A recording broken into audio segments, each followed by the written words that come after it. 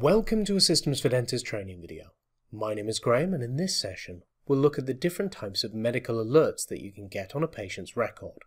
We will start by looking at where you can set these alerts on the medical questions.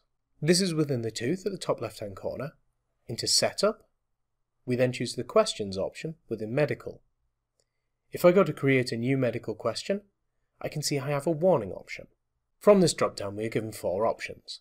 The first is None, a positive answer to a question with this set will not give any warning to the user who is looking at the record. Flag causes a red flashing light to appear in the patient's flag section. With text, a pop-up will appear when a patient's record is open. This will contain information about which questions have been answered positively. Finally, message will also cause a pop-up to appear when the patient's record is opened, however this will simply state that there is a medical alert.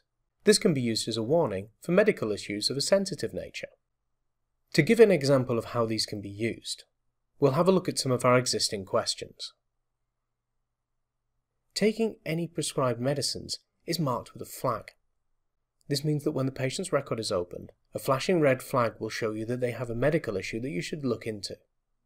The question heart problems, angina, blood pressure problems, or stroke gives a text warning. This means that when the patient's record is opened, a box pops up clearly stating what their medical issue is.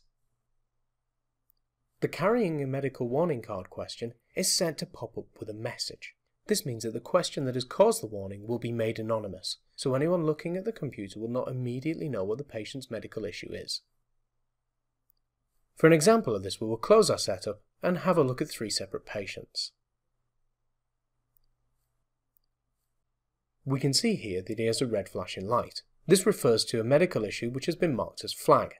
If we look into the medical section of his record, we can see that he has marked yes to taking any prescribed medications. When we open Ryan's record, a message pops up clearly informing us that he has heart problems, angina, blood pressure problems, or has had a stroke. To see further information on this, we look into the medical section of his record. Finally, we'll look at Tony's record. When opened, it brings up a pop-up that states Medical Alert. When we look for further information on this, we can see that they are carrying a medical warning card about a severe allergy. This has been deemed to be a sensitive issue for the patient, and therefore pops up with an ambiguous message.